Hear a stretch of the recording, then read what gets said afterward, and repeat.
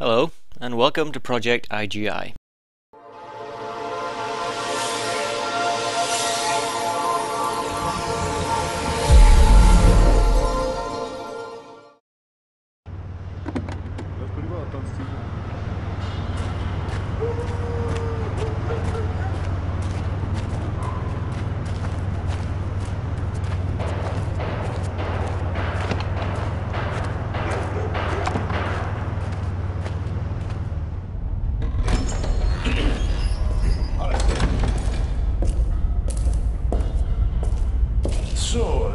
still not talking? Нет, Pastrasny. It's a tough one. Hmm, now, let's do it my way.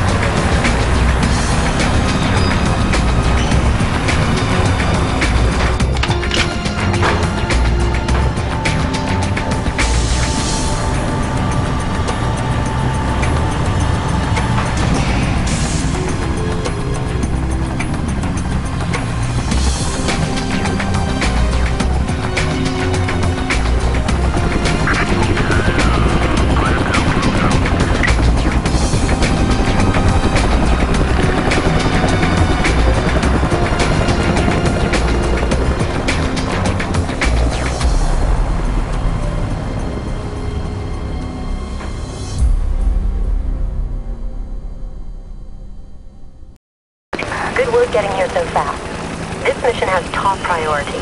Target, Yosef Priboi. You're to locate him and bring him out for debriefing. Yosef is our only link with a heist of the warhead. Yeah, yeah.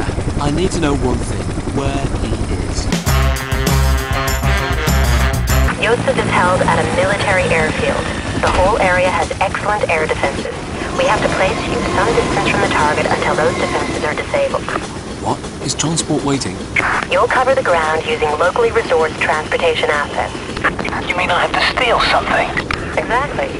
You will travel to the next goods yard. There, you will resource transportation. The whole operation is simple. There are three stages. 1. Acquire transportation assets. 2. Disable air defenses. 3. Find Yosef Priboi and extract him for debriefing. Even, Even a grunt like me can follow it. I see. That's the best we have. Anya, just how did you track Yosef down? We traced Yosef's call to his apartment, right? Local agents raided it and found photos of Yosef and his mobile number. So we call it and triangulated the coordinates. The mobile's located at a military airfield. That's where Yosef is. That's our primary target. Coming. Assuming he's there. You must make your way through the goods yard to the truck. Avoid the cameras at all cost. If you alert the security, you'll have the entire base zeroing in on your position. Get to the truck. This is your objective on the mission. Reach it and steal it. I want this mission to be brief and above all quiet. Get to work, Jones. Hello once again, and welcome to the action slash stealth extravaganza Project IGI. We begin the mission outside the train yard, and we obviously have to get our way inside and steal some transport. First thing I like to do is to do a weapons check. For this first mission, we've got ourselves a knife, Glock, and an MP5, a silenced MP5. This will probably end up being the most used weapon, although we have to be careful with the ammo as it is in very short supply and there's very rarely a pickup for this particular gun. There will obviously be plenty of enemy weapons to pick up, but they are generally extremely noisy and just attract more hassle. At the top of the ladder, we find ourselves our first enemy on top of the water tower, and it gives us the opportunity to introduce one of our pieces of equipment, the digital binoculars. You're able to zoom in with them so you can get a good look at any particular locations that you're going to be heading towards and it also highlights any enemies that you can see clearly.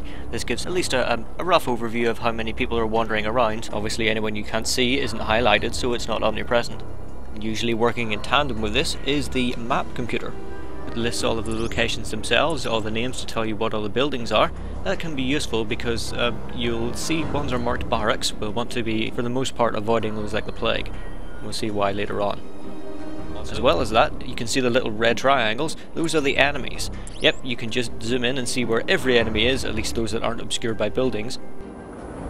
It's an extremely useful piece of kit. It's got a real-time map update and uh, if you check out the view here you can see that it lists all of the objectives that we have to go to, listed by the numbers.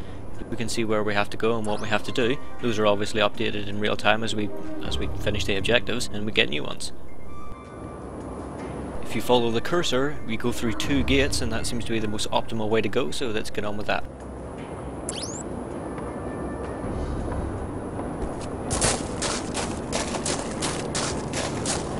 Like we found a way down. Ladders are very functional things. We... We've got our first weapon to pick up, which happens to be an Uzi submachine gun. They are awful and we will never use them. Right, let's kill someone. While the game itself doesn't have a tutorial, this first level does take you through the meat grinder in terms of the basics. Now we've had our first encounter with enemies. We can see that if they're not facing us, they don't see us or react. And the second guy in that room is automatically facing in our direction, so he will see us the second we step out. In that way it teaches the player to remain as um, inconspicuous or unobserved as possible. That's an alarm button, and it's something you do not want to press. Let's see why.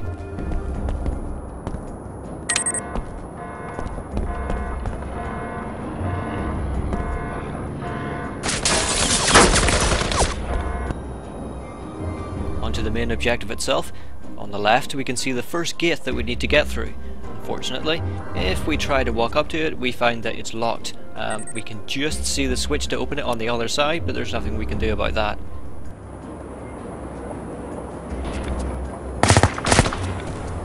However, we can sort of poke the AI and make them come and open the gate for us. Just takes a couple of shots at one of the guys in the distance, he'll run over and the gate will just open for him. Naturally we want to do it the proper way.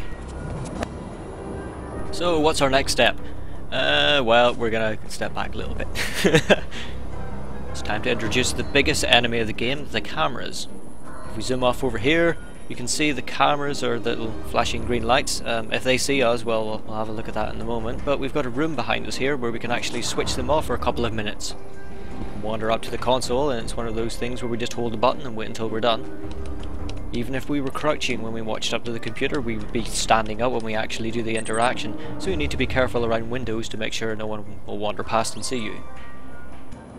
The map icon for the cameras is now missing the little red line, so indicating that the cameras are off.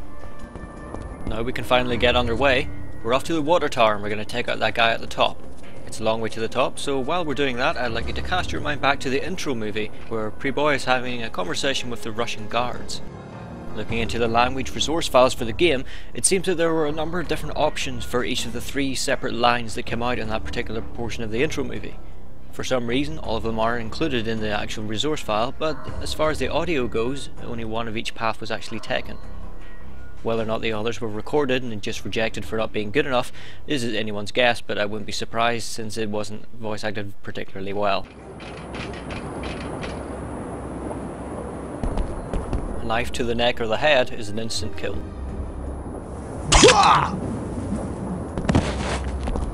Our reward is everyone's favourite weapon, the Dragunov sniper rifle. We only have the ammo which is in the gun itself, usually 10 rounds, and there's never any ammo pickups for it, so we have to do as best as we can. Basically, the reason for this gun is to remove obstacles that are ahead of us. For example here, we're just going to take out some guys in the guard towers and most of the cameras. Once those things are out of the way, it makes planning the next steps a little bit more easy. Because I'm not entirely sure of the patterns of the guys wandering around over here, I'm going to avoid shooting them. We'll get them on the way through. So where to next?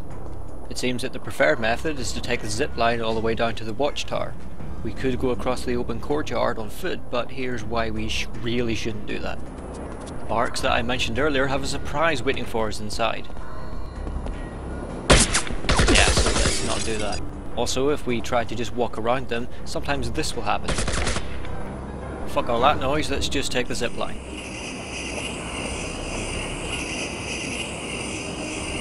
Way.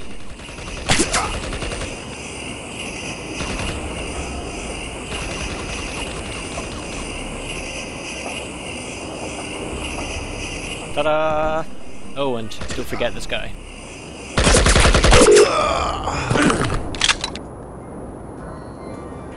The key to playing this game is to be as well as, as quiet as possible. Problem is that it's really not built to actually handle that kind of stealth action. Action's probably the bigger word than stealth when it comes to this game.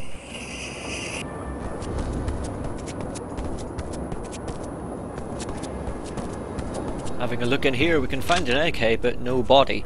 The bodies themselves disappear after a few seconds. If we look away and look back they'll generally be gone. In fact, no one seems to really care about the bodies lying around anyway. It's only when things are actually in the middle of dying that people and cameras seem to actually take notice. Here we have a warehouse, something that's common to most levels. In here we've got some grenades we can pick up. We'll not actually use them, but they're there to pick up anyway. Grenades themselves seem to be of a very limited use. If you're going for a stealthy approach, they're really the last thing you want to be using anyway. But there are a number of circumstances where they actually come in very handy.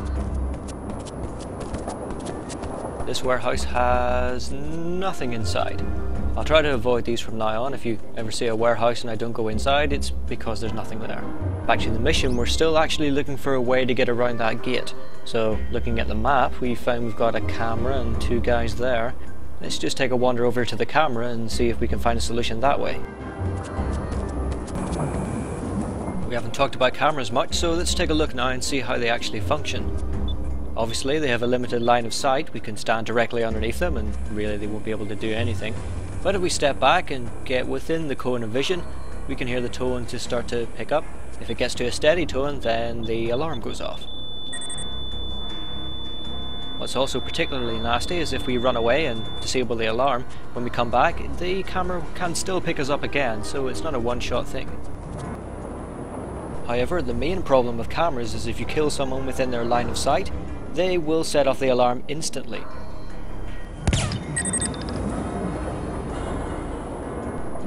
However, sometimes this is a little bit spotty.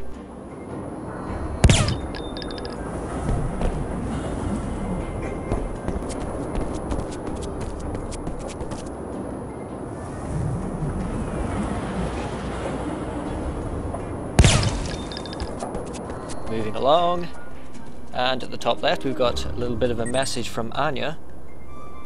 A bit of a problem is that in the middle of a mission we don't actually have any sort of voiceover uh, conversations that go on between the main character and Anya herself. All the conversation happens through text boxes. These appear in the same place as the notifications for weapon pickups and stuff. So it can get a little bit confusing sometimes and when you train yourself to ignore the notifications for when you pick up uh, weapons, sometimes you can accidentally miss some of the conversation that's going on back and forth. But um, I'll try to point them out and at least recap them. There were two ways over that fence. We could climb the fence directly. There's actually only one point in the entire game where you have to do that. Or you could have just climbed those boxes and got under the roof.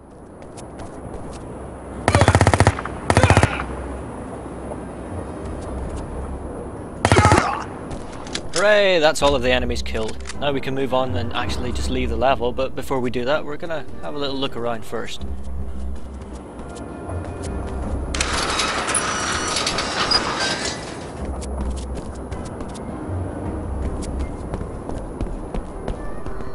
Inside this pretty gigantic warehouse, tucked away right down in the back, is a machine gun called the Minimi for some reason.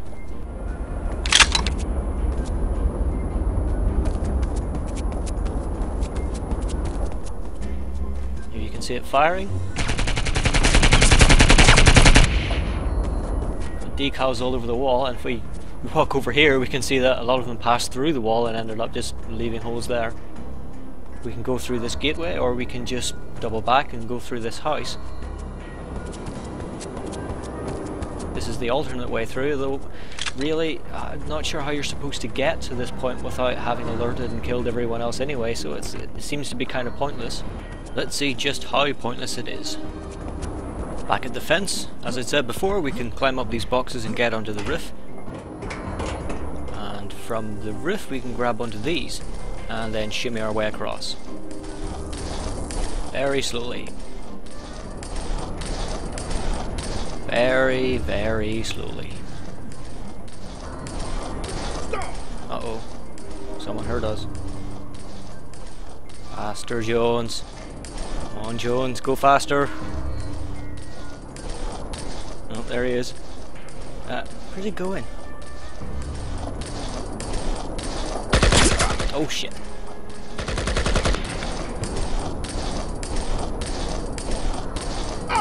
Oh, no, this one sees us too.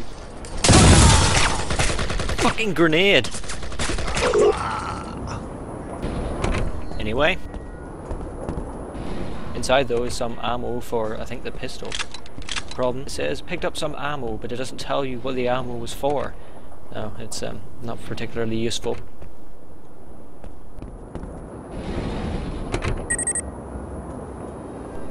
Once we're at the other side, Anya will tell us that we can just go and pick up the truck. So let's do that, uh, be on our way. So I will see you next time for the amazing adventures of Secret Spy David Llewellyn Jones in Project I'm Going In. Doesn't make any sense.